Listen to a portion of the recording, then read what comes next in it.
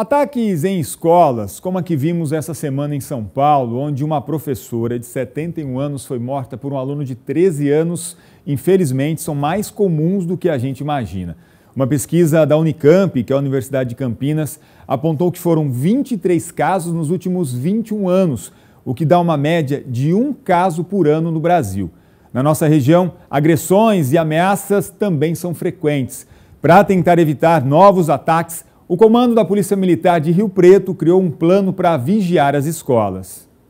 A ronda escolar vai ganhar reforço para a polícia aumentar o efetivo. Responsável por realizar esse tipo de trabalho é fundamental. A ordem para o reforço no patrulhamento nas imediações das escolas partiu do comandante do CPI 5, responsável por coordenar a corporação nas 96 cidades da região de Rio Preto. O objetivo é garantir a segurança no ambiente escolar. Além dos programas que nós já temos é, de apoio escolar, como por exemplo a Ronda Escolar, que é o mais conhecido, nós estamos deslocando outras viaturas de outro tipo de policiamento, de outra modalidade, para também é, prestar o apoio, fazer o policiamento nas imediações das escolas, principalmente nos horários de entrada e saída. E também temos a vigilância escolar, é, vigilância solidária escolar, é, que consiste num grupo de diretores e, e, pais de professores que estão integrados com a Polícia Militar. Né? Nesse grupo a gente consegue trocar informações, a gente consegue. É, é uma via fácil né, da gente poder ter ciência do que está acontecendo na escola e eles passarem as demandas para a gente também.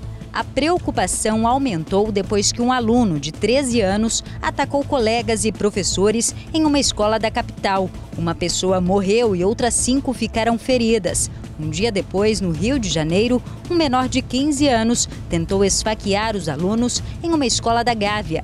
Crimes pontuais, mas que merecem um olhar atento para que não se repitam.